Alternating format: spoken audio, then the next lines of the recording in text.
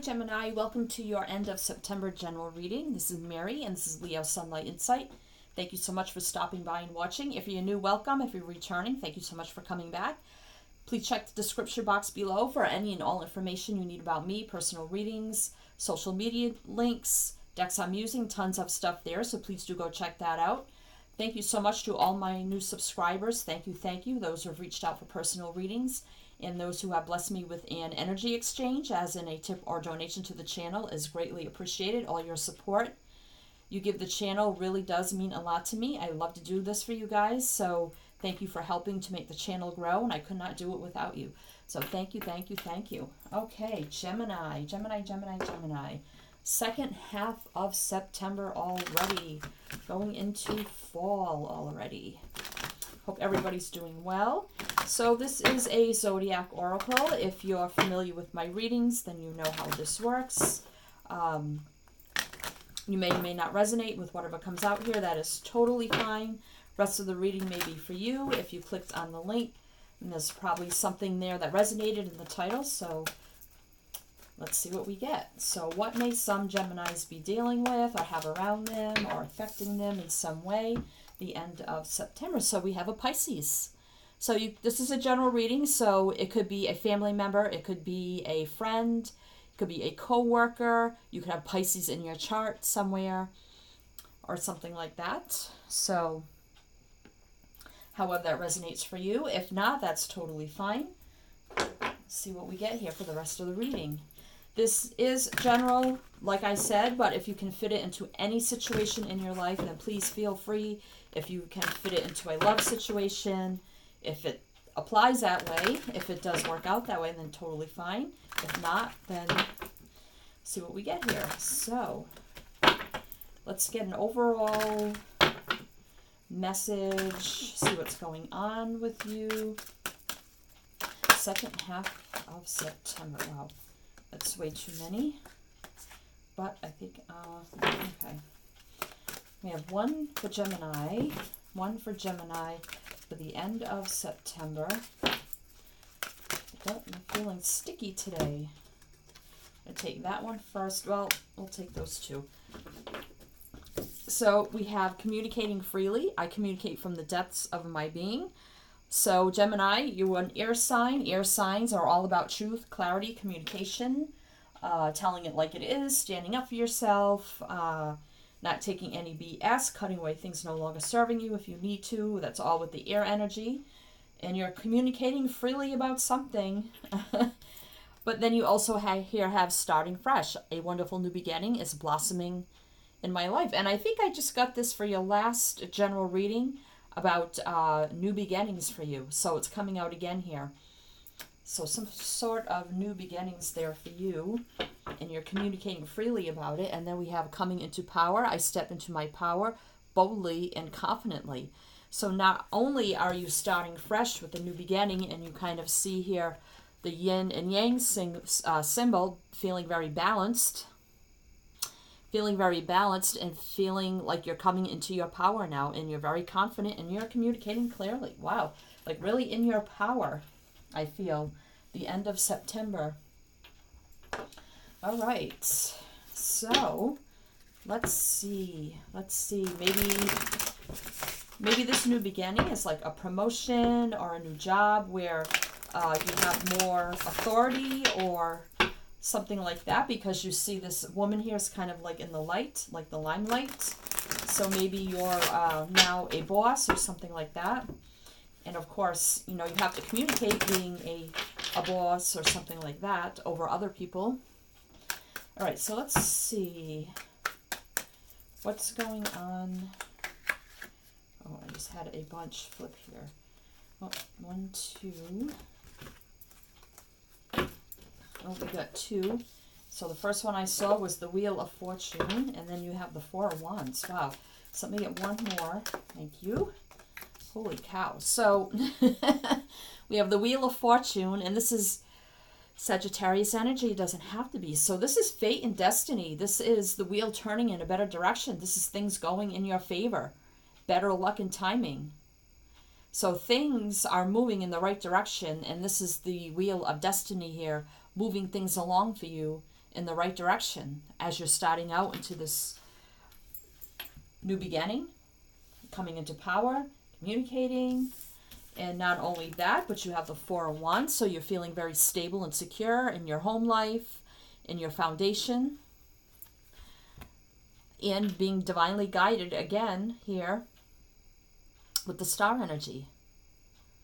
So I definitely feel like here, because you have coming into power, and uh, you see this person like in the light, then you have the star is like divinely guided. She's standing in the bas- basking in the light of this divine guidance here with the star energy. Wow, so you're very much being divinely guided along with the star and the Wheel of Fortune are both divinely guided energy. This is the universe stepping in to move you in the right direction, bringing you what's fated and destined in your journey. And also guided by the star energy. This is faith, hope, optimism, dreams and wishes coming true, healing energy. Wow. And not only that, feeling very secure and abundant in your home life. Wow. So whatever this new beginning is, I feel like here with the Four of Wands is a lot of, um, you see the flowers there kind of represent to me growth and abundance in your home life. So whatever this new, um, new, it could be, you know, new career or something here where you're, have more power, like your higher authority. Now maybe you're making more money, so now you have more growth and abundance in your home life. So let's get more clarity on this for Gemini. Wow. Well, there you go. The Ace of Wands. One more. Oh, we got two here. All right, so we have the eight, uh, the Ace of Wands. So this is fire energy, Leo, Sagittarius, but this is about a brand new beginning, and then you have a fresh start. So this is a passionate, exciting new beginning, project, endeavor, job, career, um, or something like that. Brand new beginning with the Ace of Wands, feeling very fiery passionate, determined, go getter kind of energy, and excited. And you're starting fresh. Wow. So you have the Eight of Cups energy. So you definitely could be walking away, could have walked away here from a job or something here that was not fulfilling for you at all. Eight of Cups, water energy here, and that's the Cancer, Scorpio, Pisces. So, um, you know, for some of you, if this is a love situation, maybe you're leaving a Pisces, um, or maybe you had a Pisces that was a boss to you, and now you're walking away from that and you're going to something else, starting fresh. Then you also have the moon here, which is Cancer Pisces. So this is all about um, illusions, not seeing things clearly, secrets, um, needing to know all the facts. So, and you see the moon right here, back here too. So I feel like whatever you're walking, whatever you walked away from, but you're walking to, because this is an energy of leaving something not fulfilling, but walking to something more fulfilling here but you have the Ace of Wands, which is very passionate, fiery energy. So whatever you didn't know about what you're walking to, I feel like this Ace of Wands really shed light onto everything that you needed to know in this new um, endeavor, um, adventure, project, job, whatever it was for you. I really feel like here the light of this Ace of Wands really shone down here and it guided you in the right direction and showed you everything you needed to know moving forward. All the facts you needed to know. That makes sense. All right, so let's see. Wow, let's see what your actual situation is now for Gemini. The end. It's too many. Want like three at the most for Gemini. One, two, three. Ask and you shall receive. Oops. So we have the Seven of Swords, that's your energy, uh, Libra, Gemini, Aquarius. We have the Four of Cups, water energy again, and the Ten of Swords. Wow, so this pretty much explains the whole thing here. The Seven of Swords can be an energy of kind of being sneaky, sneaking away, just having to get away, and you don't really care how you do it. You know, when you do it, you just, you know, it can be also someone that maybe was not trustworthy around you you know, maybe whatever environment you were in before, there was a lot of trickery, deceit, sneakiness among your coworkers, things of that nature that left you kind of like disenchanted and bored and just blah, like you just did not want to be there anymore because of all that energy.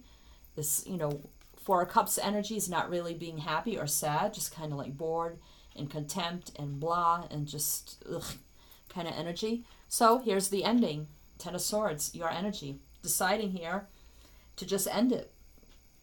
Can be a per, uh, hurtful, painful ending, or just knowing that this is no longer serving me. I'm bored, I'm in contempt, I'm just feeling blah. There's no growth, expansion. There's too much of this backstabbing, gossip, uh, trickery crap going on, and I'm just like done with it. So here I am done. I'm like, I'm done of being stabbed in the back too many times by my coworkers, you know.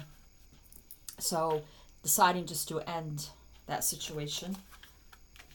Ending, ending, ending that crap. Right, so let's get some clarity. Let's get some clarity, a couple cards of clarity on that situation, on your actual situation here, Gemini. I mean, this is your energy. Hopefully you weren't being in that Seven of Swords energy, but I'm not really getting that. one, two. All right, so we have the Five of Wands. Again, with the conflict. Conflict, backstabbing, um, trickery, you know, lies, you know, all kind of this like energy wherever you were. Just not not a good energy at all here. So, Seven of Pentacles. So I feel like, you know, you were just kind of waiting and out, you know, should I stay? Should I go? Not really taking any action. Um, the Seven of Pentacles is just waiting for your crops to bloom. So it's just a waiting game. Uh, nothing's really happening. It's just being like waiting and being bored and like not seeing the growth. I mean, it's there, but you know, you felt like I can climb higher to the ladder of success rather rather than just being down here and being bored and just waiting, waiting, waiting here. So yeah, I definitely feel like you didn't feel like there was going to be any more growth or expansion where you were. Too much negative energy around you. Just feeling very bored and too much backstabbing among uh, those around you. So you just decided it was time just to end that situation and leave that situation and start fresh. All right, so let's get your advice moving forward for the end of September. A couple cards for your advice. Spirit, thank you so much. One, two. Nope, that's three. I'll take this one. So, Wow. well, your advice is the Three of Swords and the Five of Cups. Wow. So this is not good energy. Um, if you have not moved on yet from this toxic energy, but you're thinking of it, I do see some sort of start fresh for you, uh, a fresh start for you, you know, whatever that may be. Because the divine wheel here is bringing it bringing in along with the star to bring you better security and stay you know stable energy into your life. But there's a need here to walk away from this to have your new beginning so if you haven't done that you're going to remain in this energy of feeling heartbroken stabbed in the heart stabbed in the back feeling sad and just blah wherever you are now you're going to continue in this energy if you don't move on, is what I'm getting here from this situation. You're just going to remain. Do you want to remain in this energy of, of the swords in your heart and your back, feeling sad and, you know, crying? You know, how could this person have done this or stabbed me or hurt me, betrayed me? All right. So let's get a couple more cards to clarify your advice. Spirit, please. Couple more cards. Spirit, please. Thank you so much. Okay, that one wanted to flip, and we'll take this one. So we have the Two of Cups and the Six of Wands. So exactly. So whatever this offer is coming in or comes into you, I think it, the Two of Cups energy is about you know unity, people coming together, uh, people that think alike, uh, like-minded people. Um, you know, it can be friendship, it can be anything here, but it's divinely guided again. Again, so it's unity between two people who see eye to eye. And this, you know, and if you accept this, that comes in for you, it's meant for you with the Two of Cups energy, you'll be very victorious here with the Six of Wands, that fire energy, being accomplished and victorious and successful.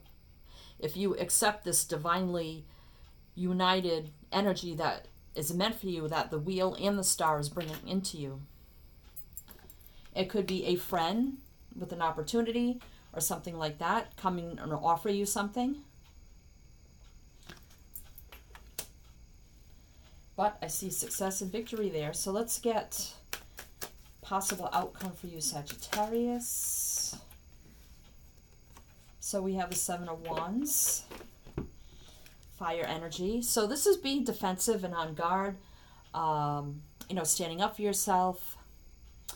You know, fighting for what is yours, fighting for yourself, standing up for yourself. I feel like in this energy here you're constantly wherever you are now or wherever wherever you moved on from you're constantly like standing up for yourself. You're like on guard looking over your shoulder like what's going to happen next?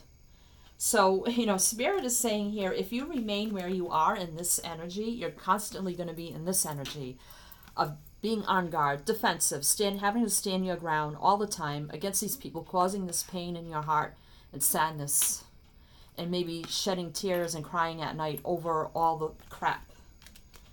Wow. Wow. Strong messages coming through for you, Gemini. So let's get a couple clarifications for your actual situation, for your possible outcome. I don't know, kind of tongue-tied here. All right, a couple clarifiers for your one, two. Wow. So we have the Five of Pentacles and we have the Nine of Wands. So, you know, again, this is the wounded warrior, but the wounded warrior here who keeps on fighting. It's about endurance, willpower, strength. Even though you've been through it, you keep fighting, persevering on. It's about, all about endurance and perseverance. But then you got the Five of Pentacles. So this is, you know, feeling abandoned and left out in the cold. It could be a monetary lack or worry here also. And this is, you know, work related, but if you see here, it kind of reminds me of the Wheel of Fortune, which is right here. So it is working for you in the background here, but you have to keep fighting on and moving on. Moving on. I just said that out of nowhere. Moving on. Really, you have to move on so that you can light up all these five pentacles and get this wheel turning so that you can move on so you don't have to be in this stance forever where you are now. You may have to leave that out in the cold and abandon whatever situation you are in now so that you can move on with determination. All right, Gemini, let's see what's on the bottom of the deck for you. The Tower, exactly. Aries energy here. This is very I feel like in this situation, it could be very, maybe there's a lot of, like I said, you got the Five of Wands over here, a lot of conflict where you are now, a lot of this, like, kind of energy wherever you are now. Not good energy, like very, I don't want to say explosive, but could be just arguments and backstabbing and all kind of toxic energy.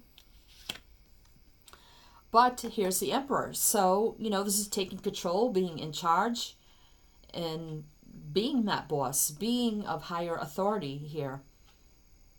So you can have this energy of being in control, in charge of your life, moving on, taking on a more um, in charge type of role. So now you have the Hermit, which is Virgo. So I think you're going to think about it. You know, whatever offer may come into you, you know, you may think about it here, about this fresh start and realize that you can come into power because you have coming into power and fresh start. So some tower, some kind of tower moment may come in also, along with the wheel and the star to move you in the right direction after you, you know, do some inner journey work and realize it's time to move on. There's too much mental entrapment where you are, too much uh, trickery and deceiving energy, you know, maybe feeling mentally trapped about moving on or leaving or starting something new. But, you know, you have the Three of Cups here. So this is good times and rejoicing and reuniting.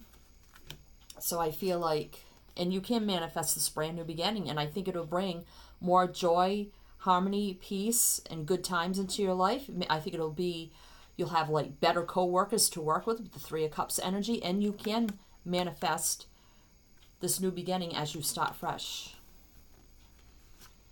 So it's all here. It's up to you what you want to do. Oh, I don't even see that death card there. So again, the death card here is like the Ten of Swords, ending this toxic situation. It's having a new beginning. It's much more harmonious. You know, manifesting that brand new beginning. So I could keep going, but I'll be here forever. So, yep. Getting out of the mental blockage as you think and consider everything here that you can do it. You can be this emperor energy and you can leave this toxic energy and start fresh. You can come into your power. You can communicate freely and clearly. All right, so,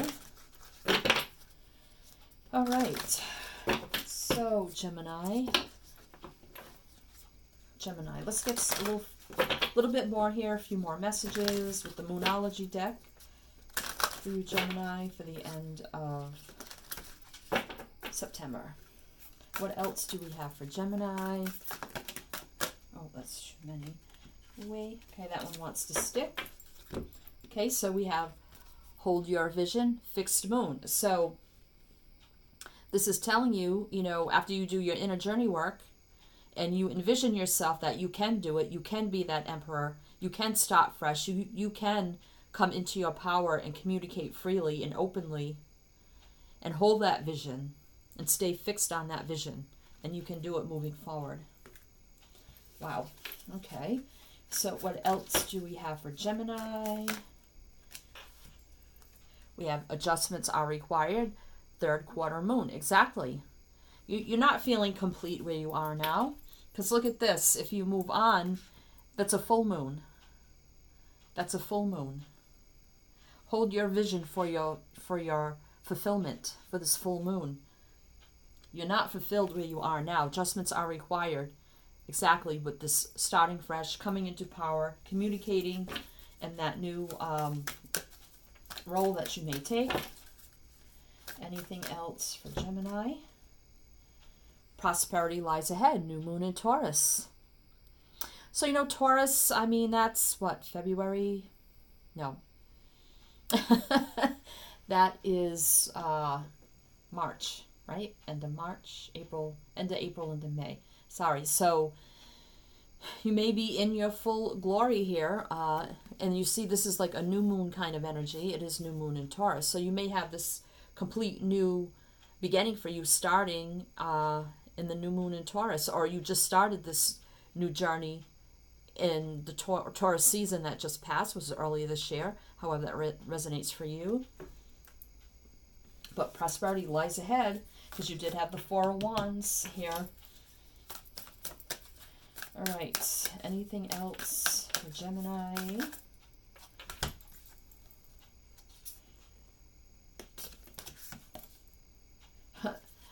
Communication is key. New moon in Gemini. I had three cards sticking out, and Spirit was trying to guide me to the right one, and it was this one. Communication is key. Communication, new moon in Gemini. So you have two new moons here. You have starting fresh. You have the Ace of Wands for that passionate brand new beginning. Wow.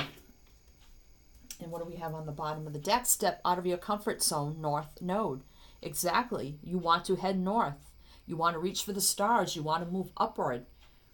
Stepping out of your comfort zone. So if you think you can't be in that Emperor energy, and be a boss or whatever or higher authority than you ever been, it's time now to step out of your comfort zone. Hold that vision for your fulfillment. and you can do it because the energy you're in now is just not a good place and you'll you'll forever be in this energy and having to be like this so uh, don't think you want that but you know it's up to you gemini i mean you have free will you can do what you want but i see moving on is the best thing for you if you're in this type of situation right now Okay, Gemini, if this didn't resonate for you, you can check the playlist below in the description box and maybe past readings will resonate for you. I do consider them all, time, all timeless, even though there are dates on them. So if you find a title that resonates for you, I'd say go ahead, watch it anyway. And if you do like my style, you like how I read, please do uh, like, share, comment, subscribe. I love to read the comments. Hit the bell, you'll be notified when I post new readings. I do bi weekly general and love, two separate readings so it's four readings a month for every sign, so don't miss out on that. And I'm sending you many light, love, and blessings. And as I always say with my channel, is to always, always shine your light.